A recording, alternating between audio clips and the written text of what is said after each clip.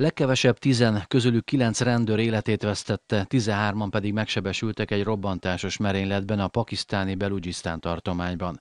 Egy motorbiciklis öngyilkos merénylő robbantotta fel magát egy rendőrségi minibusz mellett. A sérülteket azonnal a kórházba szállították. Eddig egyetlen felkelő csoport sem jelentkezett, hogy vállalja a merénylet elkövetését. Az utóbbi időben egyre több hasonló terrorakciót követnek el a pakisztáni hatóságok ellen.